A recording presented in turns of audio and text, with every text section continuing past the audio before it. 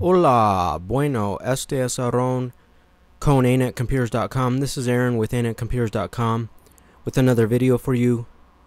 Today, this one I filed under operating system problems. Computer keeps shutting off. Fix Vista unexpected power down.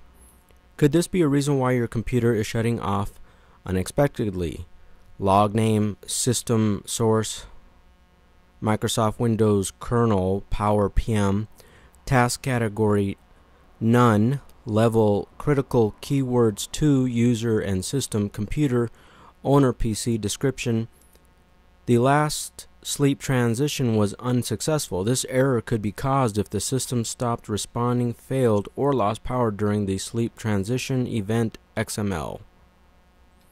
You've tried a msconfig option using selective startup and nothing changed. You could try to use system restore point to revert any changes made to your Vista computer. Also, checking your BIOS to make sure it's not set to power off when in hibernation or sleep mode.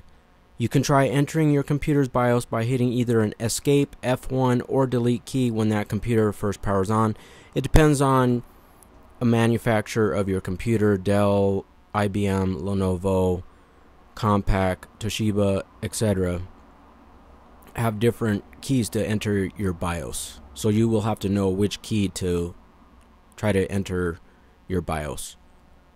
If you're using a laptop, make sure you have your AC adapter plugged in, or if that battery gets drained enough, a default BIOS and operating system sleep settings will cause that computer to shut down.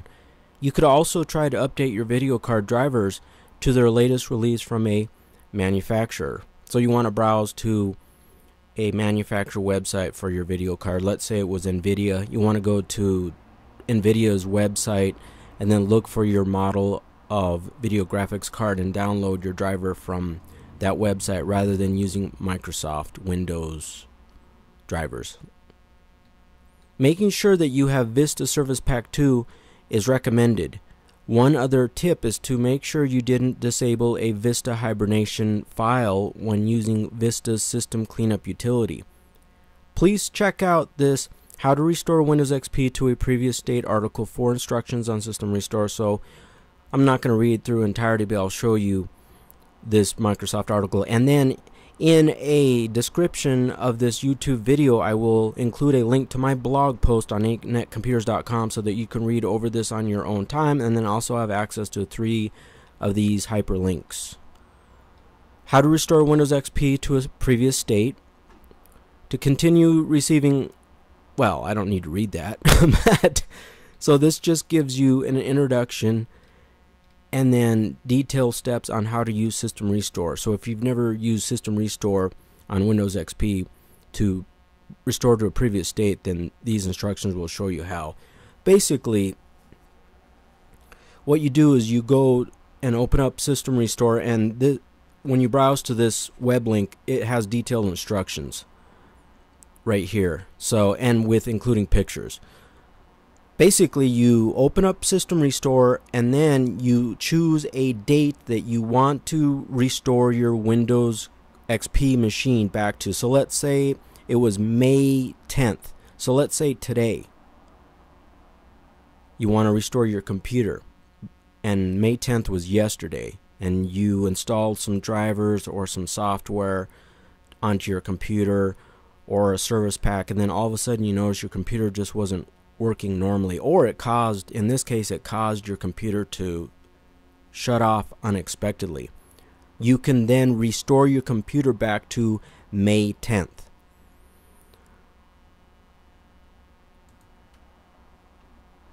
Also, you can read how to obtain the latest Vista Service Pack article that will show you how to obtain Vista Service Pack 2. Highly recommended, especially with Vista. If you're running Vista out of the box without Vista Service Pack 1.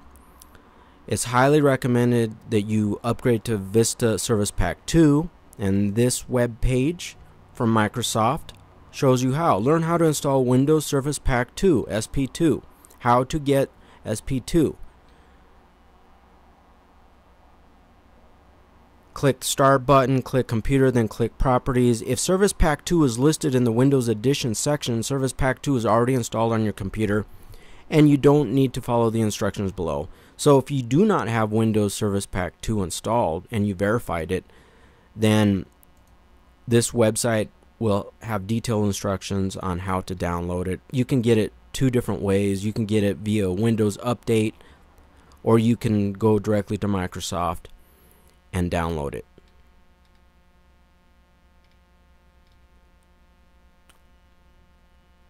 Continuing on, this disk cleanup tool article explains how to make sure hibernation wasn't affected when running disk cleanup.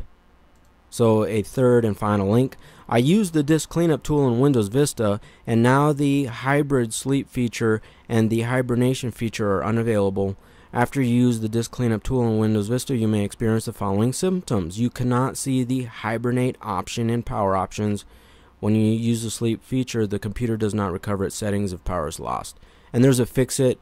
If you don't want to go through any of the manual solutions, let me fix it myself. You, I would recommend you try their fix it first. All you do is click on this Microsoft Fix It, and it'll try to fix that problem for you. If it doesn't fix that problem of your computer shutting down unexpectedly, then I would go ahead and then follow these manual instructions.